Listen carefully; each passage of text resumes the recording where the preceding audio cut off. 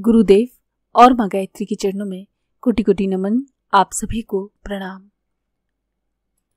गायत्री पुरस्रण के पिछले वीडियो में हमने जाना था कि गुरु मुख से दीक्षा ग्रहण करने पर ही गायत्री मंत्र के संपूर्ण लाभ मिलते हैं और उससे हमारी साधना फलवती होती है।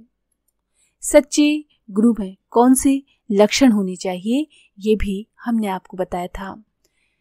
आइए अब जानते हैं कि मंत्र साधन की विधि व्यवस्था क्या करें। मंत्र की साधना करते समय क्या विधि होनी चाहिए और क्या क्या उसकी व्यवस्था होनी चाहिए?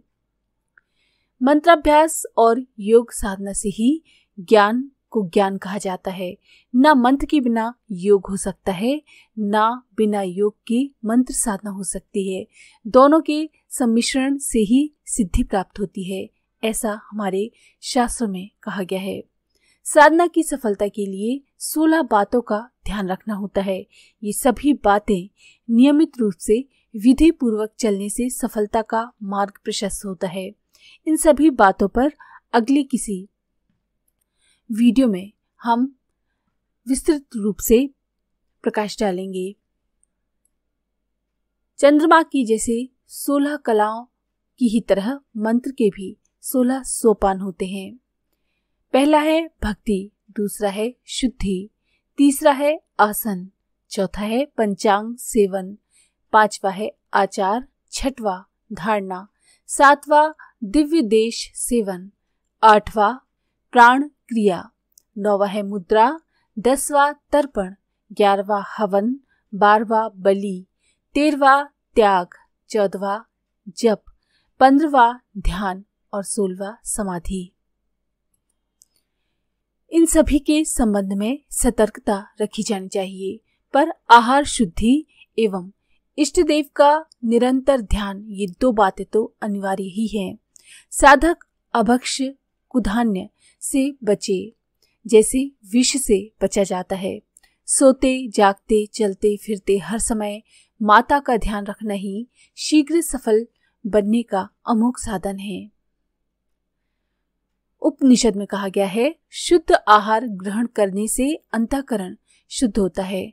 शुद्ध अंतकरण से ध्यान निश्चित होता है और निश्चित ध्यान लगाने से सिद्धि प्राप्त होती है।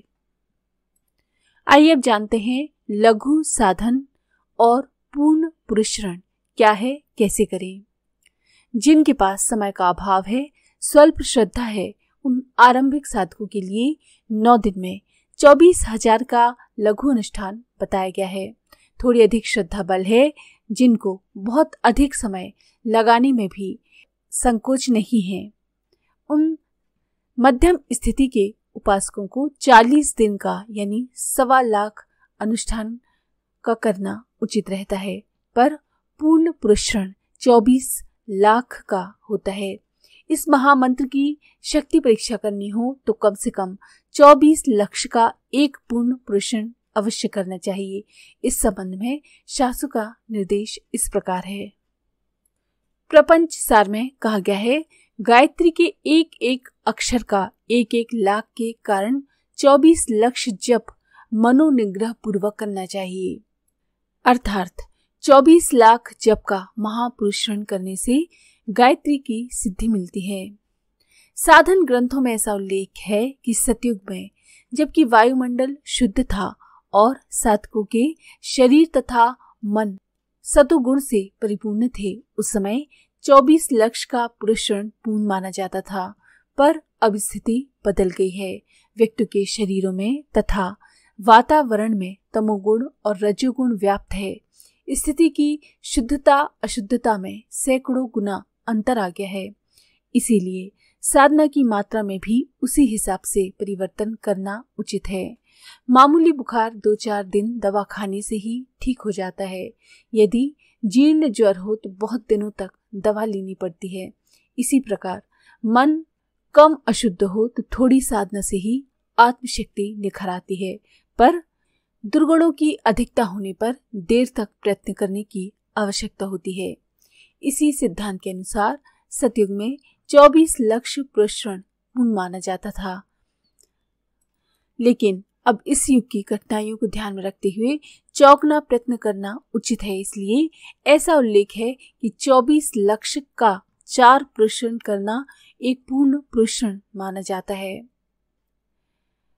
वैशम पायन नामक ग्रंथ में कहा गया है, जो जब संख्या शास्त्र में कही गई है वो सत्युग के विचार से है। त्रेता में उससे दूना, द्वापर में तीन गुना और कलयुग में चार गुना जप करना चाहिए। कलयुग में छियानवे लाख जप संख्या करने पर एक एक गायत्री महापुरुषण होता है। कलयुग में मंत्रानुष्ठान चार गुना करना चाहिए। यदि 24 लक्ष्य के चार अनुष्ठान किए जा सके तो सर्वोत्तम है। अन्यथा गायत्री शक्ति का प्रत्यक्ष स्वरूप देखने के इच्छुकों को कम से कम 24 लाख विधि पूर्वक करना चाहिए। वैसे तो जिससे जितना बन पड़े उतना ही उत्तम है। सवा लक्ष और चौबीस हज़ार के मध्यम तथा लघु अनुष्ठानों का भी अपना बड़ा महत्व है। ये भी बहुत ही कल्याणकारी हैं। इनसे भी हमारी सभी मनोकामनाएँ पूरी होती हैं। गुरु से दीक्षा लेने के बाद साधना करने पर गायत्री उपासना में कोई त्रुटि रह जाने से भी कोई अनिष्ट होने की संभावना स्वप्न में भी नहीं रहती। अधिक से अधिक इतनी ही हानि हो सकती है कि लाभ कम मिले। माता अपने पुत्रों को कभी किसी प्रकार का अनिष्ट नहीं करती। गायत्री संहिता में ये कहा गया है। ये परम कल्याण का मंगलमय मार्ग है। इसको करने से हानि की संभावना बिल्कुल भी नहीं है। लेकिन शर्त ये है कि आप विधि पूर्वक करें और गुरु के संरक्षण में करें, दीक्षा लेकर करें। साथ ही जहाँ तक आपसे बन पड़े नॉन वेज का सेवन ना करें, किसी भी मद पदार्थ का सेवन ना करें। खासकर जब आप अनुष्ठान कर रहे हैं, तब इन सब चीज़ों को त्याग दें।